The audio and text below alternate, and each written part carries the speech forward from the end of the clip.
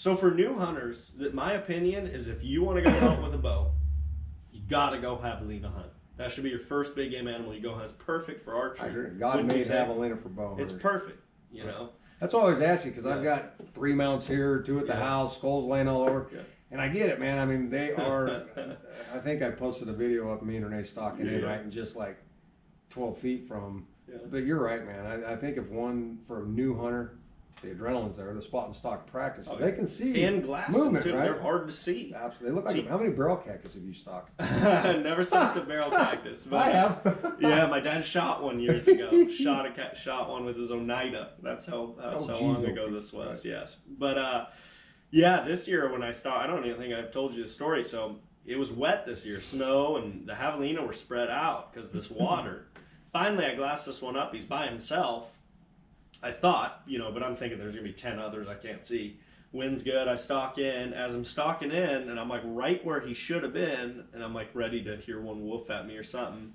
I look to my left and see something with, and I'm like something, something not right here. See this big tail flip up like this. It was three coatimundis, Oh, 40, 40 yards from me. Right. So I was like, shoot, did I, am I that bad a hunter? I glassed up a coatimundi and thought it was a javelina. I look out front, javelina goes up into this juniper, so I stalked in on him.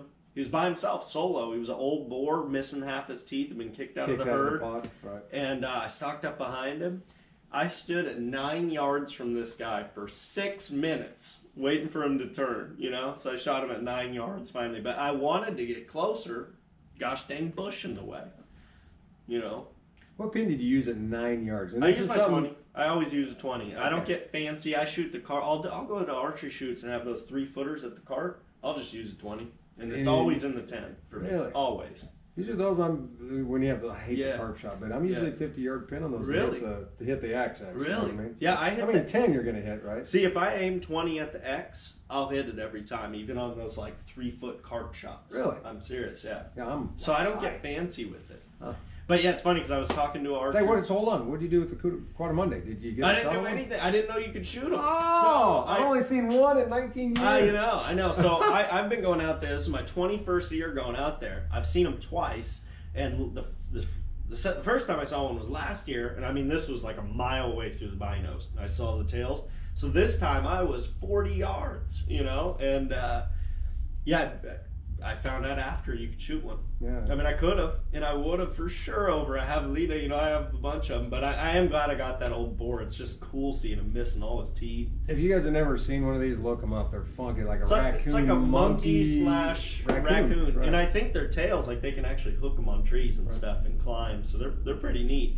But the first time I glassed them up, it was funny because I'm looking at this ridge top, long ways away, and I see all these things going like this, and I'm like, what am I looking at? Is like Medusa up here, or like a snake, or like what? all talking. And I thought it was like a snake, like a bunch of snake heads, but I was like, they're too big. And then finally I figured it out. It's like, oh, they're like five foot tails up in there. There was like 10 of them. And then they went over the ridge right when I saw them. No kidding. But uh, that was the first time I'd seen them. Man, that's cool, man. We've only seen one. Renee, Renee Yeah. I, I had her take the shot on it, 50 some odd yards. Yeah, I want to mount one. I think they're, They're just so awesome, cool, right? yeah.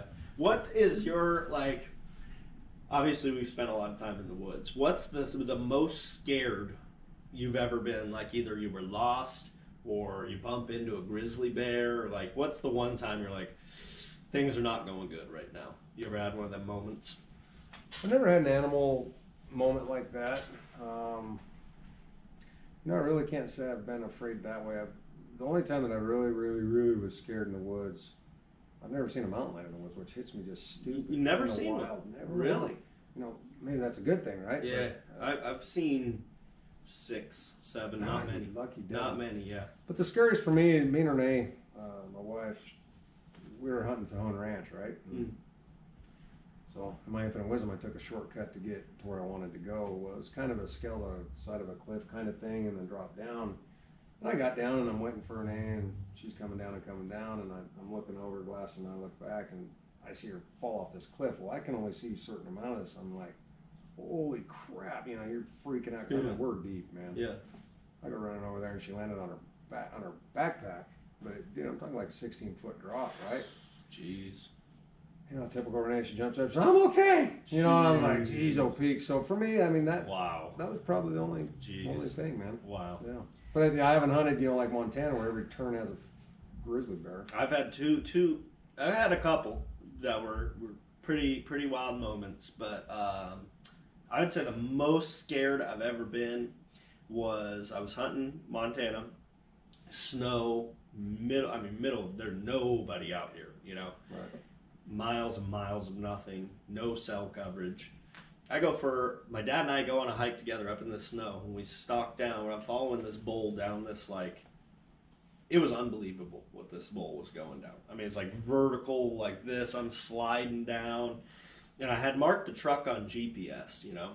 But where this bull was going, he was going into a deep canyon. I thought if I just run the canyon left, I'm going to get to the road eventually, and I'll just walk to the truck.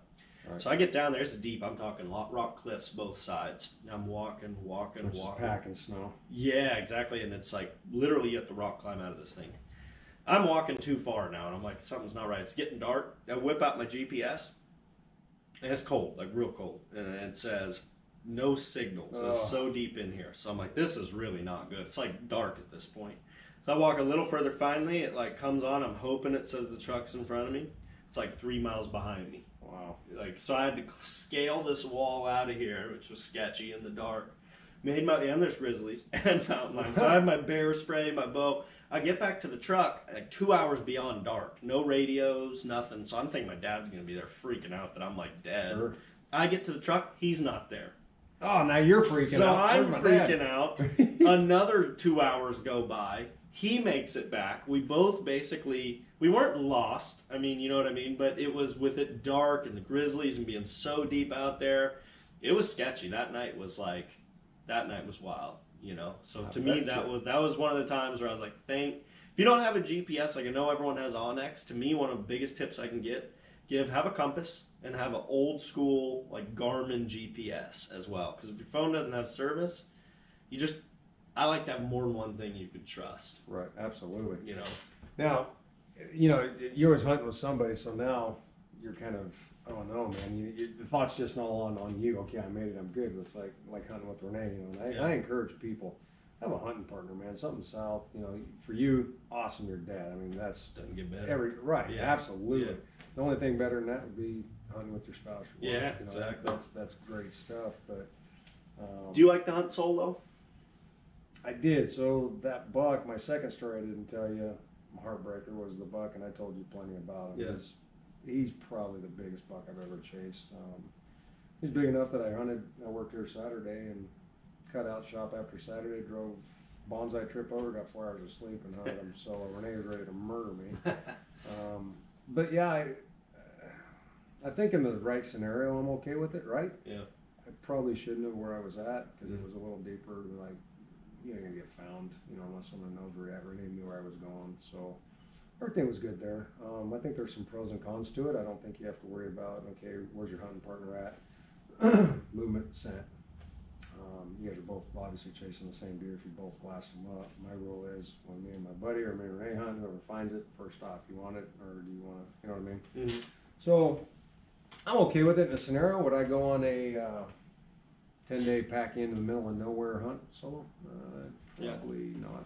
Yeah. I just think too much stuff could happen. Yeah, it's certainly. I mean, the risk is there. I I just enjoy. I do like hunting by myself. It's something about just like Now, hunting, hunting, yeah, I'll hunt solo all the time. Yeah, But I just like it. I like being Right. out in the middle of nowhere, nobody else there. Like, but as you said, you have to be aware that there's risks, and that's what I'm saying. Like, having multiple ways to know how to get back to, you know, whatever it is, a car or whatever. You've got to have multiple things, just because you you never know. You never know what can happen in the woods. That's what's right, absolutely.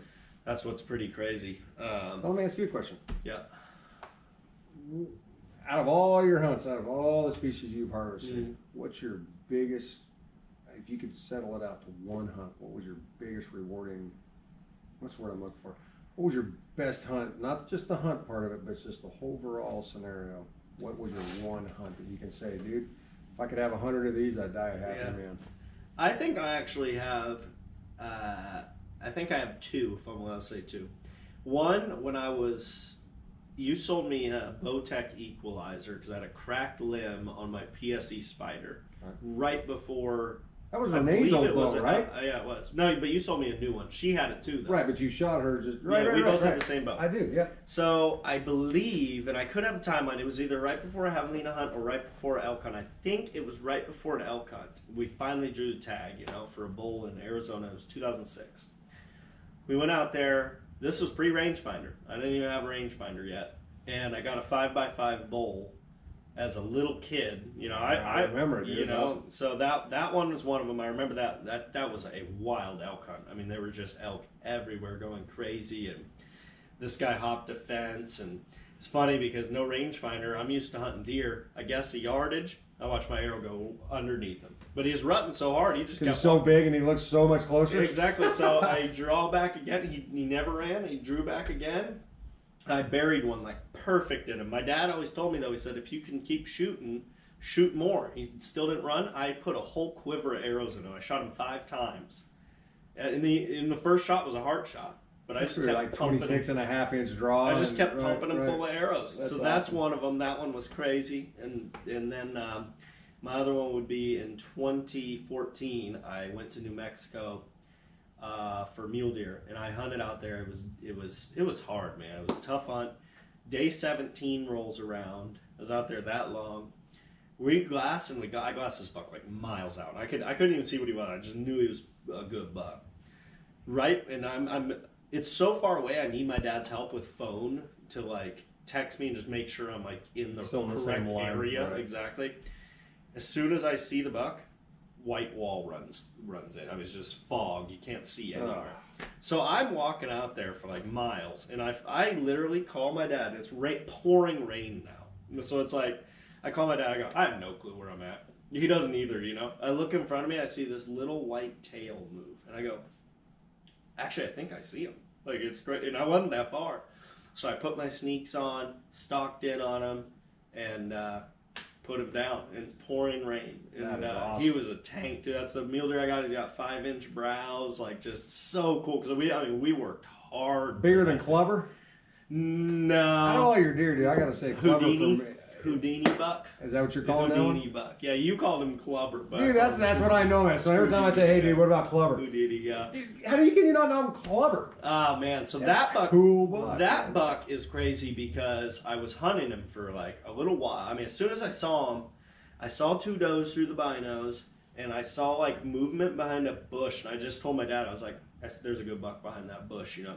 He walked out straight away from me. It was like tall, dark, thick, and narrow, and I was like, "This is a weird buck." Like you know, it was a ways away. And I go, I guess I'll, you know, try it. And just the process of hitting him once and getting him, like, yeah, that's up there too. And just with how cool he is. He's got a baby's arm for a dude. Yeah, I mean, five is and a half inches of mass too. Yeah, it's just crazy. insane buck. Yeah. I mean, you sent me the picture. I'm like, oh, that's a cool buck. Then you brought it in. I'm like, whoa, dude. That's what Travis said. He said once I saw it, I was like, this thing is awesome. Like, Right. You know. So I don't know. Maybe I'll bring it to Travis's shoot so people can see it or something. be a killer. He's a great, But, uh, great. I don't know, man. I'd be afraid to put it in I the car know. and someone. too, I know. I know. Yeah. What about you? Top hunt. Same question. Top hunt. You know, it was more of a scenario, man. I've gone on a lot of great hunts, uh, but my elk hunt, dude, that, that bull I killed in Arizona. And, don't get me wrong, the hunt was good. I like hunting elk quiet. I don't like to call. I just I, I call to locate them. Now I know the herd's over there, and I just shut up, man. Same. I, I, I'll bump satellite bulls out and just become part of the herd. You know, the hunt it was challenging. It was physical. Um, nastiest country I've ever hunted. Ended up killing a nice herd bull. Um, it, it was just a great overall hunt. But what, what made that hunt special for me personally, it's it's the hardest I've ever trained for a hunt. I mean, you know, I used, dumped 50 pounds for that hunt because I knew I I did my homework and we touched bases on that. Looking at topo map, man, when you go from big lines to there's a whole bunch of little black lines, you know, you're going to be hunting some nasty Steep country, stuff, man. yeah. So, you know, for me, it was a whole process of just not the hunt. It was it was training your your your butt off, eating right, living that life, getting ready for this. Go out, work your tail off, find out, pass some bulls up, harvest this bull with a buddy that I've hunted with for 19 years. I mean, that's that's what makes it awesome, right? Um, but the most rewarding was me and my buddy. You know, I've got I've got the rack. My buddy's got the backstrap and loin first haul out, right? So elk, you know, you're making at least four or 5 Mhm. load, hundred pound loads the next day out. Four, four and a half miles, almost five miles deep. So, but what made it the best for me, you're walking out, you know, you're thinking about everything. You got a hundred things going in your mind, and it slams on you that. "Man, It took me 14 years. You know, I'm, I'm 49. I'm an old bastard, right? yeah. But I'm 49, 14 years. I, dude, I don't know if I physically could do that hunt it, it was brutal. So you get up to the top, you crest out where the truck is, and then your other buddy that, that stayed up high, he didn't drop in the bowl with me and Jeff. He had a fire going, dude, and I'll never forget this, man. He had a little fire going at the end of the truck. He goes, Yeah, I figured you guys got an elk. So I walked up, I'm physically shot, I'm mentally shot. I dropped the rack. Dude, it was just the whole scenario, right? I mean, you got Yeah. a fire, you just harvested a great elk, it was a phenomenal hunt. It kind of, you guys are gonna call me names, I don't care, but dude, it kind of choked me up, cheered me up a little That's bit, most- man. yeah, it for was, sure. it was just the epitome of a freaking hunt, dude. That's awesome. You, you get back to camp. I think I gobbled down. I don't even remember, dude. It wasn't healthy though, but I just gobbled whatever I had there down. Got two hours of sleep, cramped all night. Right. Yeah, of course. Went out and started hauling meat, and I'm just like, dude, this is what it's all about, Yeah. man. Yeah. DIY, public land, frickin' go get it done. Oh man, love that. Yeah. Right? Same. Yeah. I mean, that's just that's what it's about. You know, another hunt.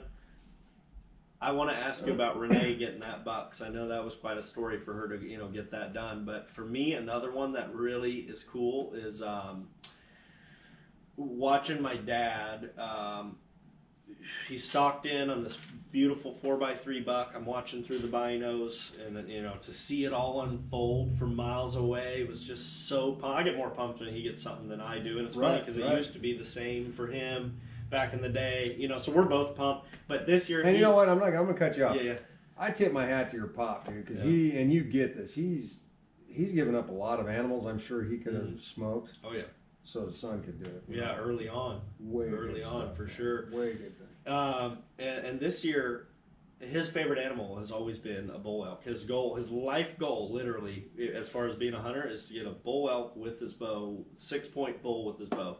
This year, he got his first ever bull with a bow. And it was six on one side, broke off five on the other.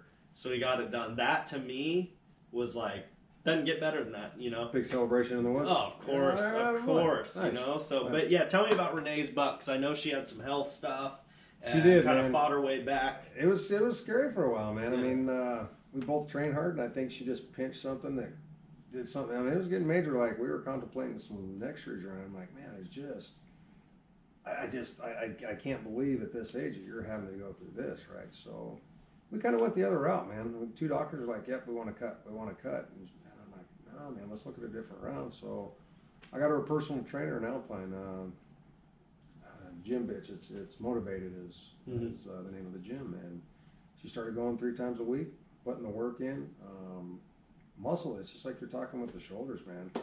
Your body's the best healing thing if you're working. If you know someone that that can tell you how to do it proper, man, that makes it even better. So she dedicated out, got it done. Um, she's killed. Renee's funny. I mean, a lot of these mounts in here are hers. A caribou. She's killed hogs, whitetail, javelina, elk. You know, she's done it all, but that one animal she's never she got a mule deer doe. She's never killed a mule deer buck. Wow. So, you know, last year I hit hard on her. You know, I didn't hunt three days, four days straight. I just my goal, I'm gonna get her name a mule deer buck, and and it was a learning curve. You know, where where I needed to learn. I know you're watching this. What I needed to learn is I get anxious, right? You know, so the deer's coming, it's a man of battle. If she drew too late, whatever it might be, where it got blown out, you know, it's like, hey, what are you doing? You know, and all that, that's no good, right? That, you're, this is what's going to happen the whole time. And guys need to remember that when you start hunting as a family or with your wife, whatever it might be, have patience, man. So what I learned now is if something goes wrong, what'd you learn? Just like you said, you know, what'd you learn as a bow hunter? To do different next time. So she put it all together, man. I, I we put a lot of miles in. Um, he's not a huge buck. It's her first buck. Doesn't she did it herself. Doesn't matter. I gave her the ring. She put the stock. She she shot it. Here's where she got upset with me. She gave me the the, the, the winky eyes and, oh, baby, can you got this? I'm all, nope. So she ended up, she did the whole thing, man. Nice. She gutted her own, and we were gonna post that video up because I recorded it. Yeah. So I'm like, I don't know about this, might offend people, but yeah, she gutted the whole animal. Um, I drug it up the hill with a little bit of help from her, but she drug it from the park down to the truck, and uh, Wow. we skinned it out together. So That's for her, stuff. great accomplishment, right? She got the monkey Huge. off her back. Huge. Because yeah. we always put so much pressure as bow hunters, right? You're like, hey, I just got to make it happen. Now she's got it off. She can cruise and, and think about the hunt a little bit more and, and learn. Do you find yourself like rushing a lot when you're on in the heat of a hunt? Do you find yourself like subconsciously going faster and like kind of speeding things up?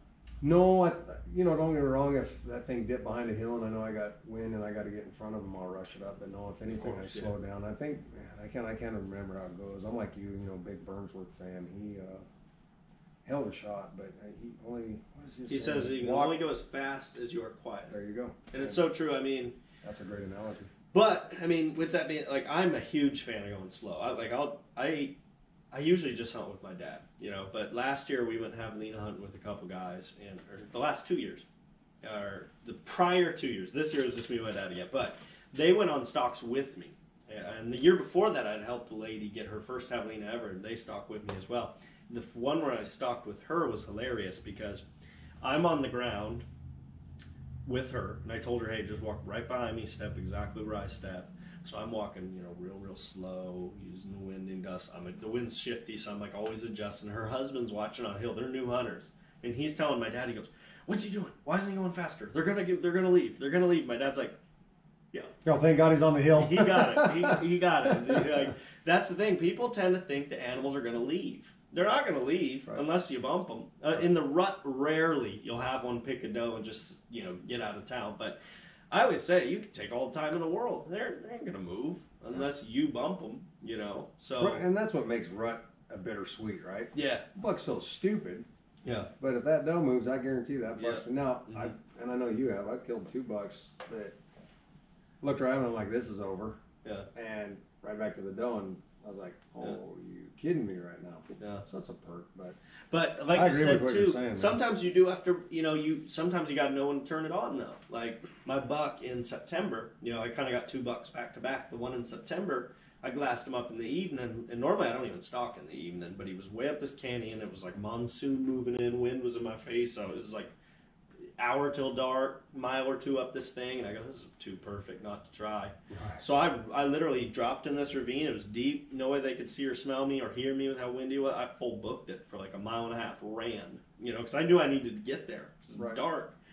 Worked out. Ended up getting it done. So sometimes you do got to per- turn on the burners. But guess what? When I was in their personal space, back to like speed, almost zero. You Right, know. right. So I think I think that's something you just learn with time. You know. That's, that's a great point. Right. You know. No, absolutely. You know, where you can do it, when you Yep. don't have to, because it's it's nerve wracking sometimes. So, and I tell you guys all the time, I there's a lot of times I wish I just looked to the left and all of a sudden there's a big deer there, right? Instead of, oh, dude, I've worked this thing for 500 yards, or he's, Yeah. I'm watching him come. Yeah. That gets a little hinky after a while. Yeah. So, but it's all the challenge, right? Man? I can't believe you've never seen a lion. That's crazy. Wow. I'm kind of happy about it, Wow. but I've never seen a lion. I, you know, I spend a lot of time. Oh yeah. Especially Arizona, when you're on a rock It- glassing for an hour. Oh, I've, I've only seen one glassing ever. I've seen no two. I saw one local and one in uh, New Mexico glassing. Most the first time I ever saw one, I'm like you. Spent my whole life I've been in the field since I was like five years old. My dad took me on big game hunts, so I was out there. Never had seen one. I was I was like let's say like 15. Still never seen one. My my dad and I are paralleling like this. I'm up on a little ridge. He's down in a ravine. We're only like 20 yards apart. Walking. I see something like 10 feet in front of him, like jump out of the bottom. It's like a 200 pound cat, 10 feet from him. Might as well make it a big one. leaves, and then I'm like, whoa, you know, I'd never seen one, so it was crazy. Another one jumps up. So there's two of them right in front of us. Holy smokes! And that was the first time I had seen one. Um, and uh, yeah, I mean, in Montana, I saw two about 100 yards a piece. It's just like, they're a beautiful animal. I mean, you see one, it's just like, wow. Just like anything, right? I mean, Yeah. you just. I'll tell you, and you know this. Our San Diego County, dude, we've just got Tons of man, lions. It's I don't know. That's a story for. another I think I think California eventually will have to make changes on that front. We'll see if it happens, but You would think, right? I think I they're mean, gonna have to. I mean, you see, I saw I saw a, like a a home, whatever security camera in like Sacramento in the middle of the city. Full grown mountain lion walks up the thing in, in like a like a Mount Woodson style, like in a state. Right. It's like, geez, that is not safe. you know? Probably the most hinky one. I had a guy come in here, and you Yeah. know, of course, everybody comes and says, "Dude, check out this buck on this trail camera. Yeah. Check out." And I'm like, eh, you know, stuff's all going to change once Yeah. Five thousand people walk in the woods. But showed a picture of him, timestamp, and he was in a ground blind, right? So just at the base of a tree, guy built a ground blind out of twigs and leaves and stuff. He sits down. So he's all, now watch this. And he goes, he said, I'm going through this, and he had a mountain lion picture on that same camera, literally five minutes before he got there. So mountain lion click. Five minutes later, he's climbing in his ground. Wow.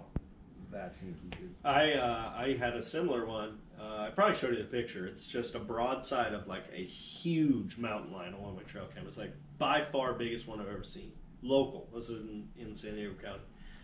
I go down to check the camera, and I, I brought my dog with me because it was off season. Bring my dog.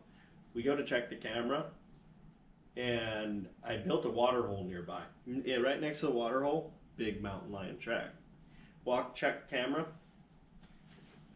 hour before that giant mountain The one that lion left was the there. track? That huge one that I saw in the picture that I showed you, like Right. 200 plus pounder. I had my dog with me, and I was like, "Jeez, dude, I don't feel good about this." But we, we, we got it back in there and left all good. But it's crazy. It's just like a little nerve wracking. Kinda hinky, right? Yeah. Right. Yeah, it's wild. Well, anyways, guys, we've been talking a long time, So so this for another it's hour. been fun. We could go another hour. We'll probably we'll probably do another one of these at some point. And uh, but I want to thank everybody for watching. Come down to the bow shop if you haven't. Come to Travis to shoot. March thirty first. Shoot with us. Meet us. You guys got any questions, anything about archery, come down and talk, man. I'm James. You can talk to anybody that knows me. I'm not a salesman. I don't want to come off that way at all. Zero zilch. Um, any questions about it? Wondering how to get into it? What it's all about? Call me. Come see me. Let's play.